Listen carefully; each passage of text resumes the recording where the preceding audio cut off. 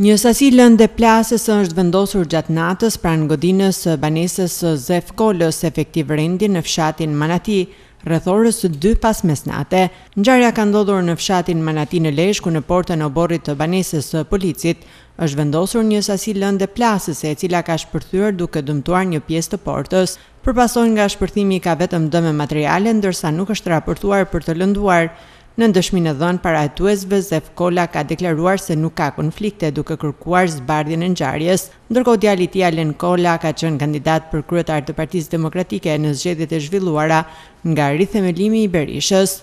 Në momentin e ngjarjes, anëtarët e familjes Kola kanë qenë në gjumë dhe sapo kanë dëgjuar shpërthimin, i cili ishte i fuqishëm, kanë dalë nga banesa duke njoftuar menjëherë policinë. Këta të fundit mbërritën në vendngjarje duke nisur hetimet në lidhje me rastin, Gjithashtu specialistët e njësisë anti-eksploziv të ardhur nga Tirana pritet të përcaktojnë llojin dhe sasinë e lëndës shpërthyese. Ndërkohë grupi hetimor pritet të analizojë kamerat e sigurisë së banesave dhe bizneseve përgjatë rrugës Lezhë Milot për të parë lëvizjet e para dhe pas ngjarjes, ndërsa pista kryesore e hetimit është përqendruar tek detyra e pesëdhjetë vjeçarit Zef Kola, i cili prej vitesh është pjesë e strukturave të Policisë së Shtetit.